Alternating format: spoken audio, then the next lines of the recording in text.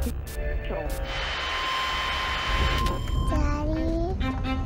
are you sure we're safe? As long as I can see your face, we're safe. Look out! 911, what's your emergency? 911, what's your 911, emergency? what's your emergency? 911, what's your emergency? You've been warned that these things are dangerous. Ma'am? Victoria!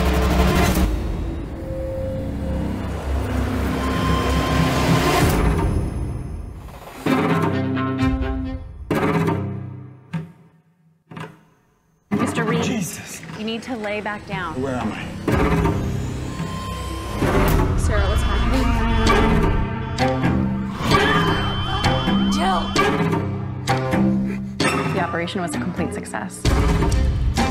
Do you know what this is? We think it's some kind of doorway or portal. Portal where? Where are they? We were hoping you could tell us. It's calling us. You're the only one who's been to the other side and back.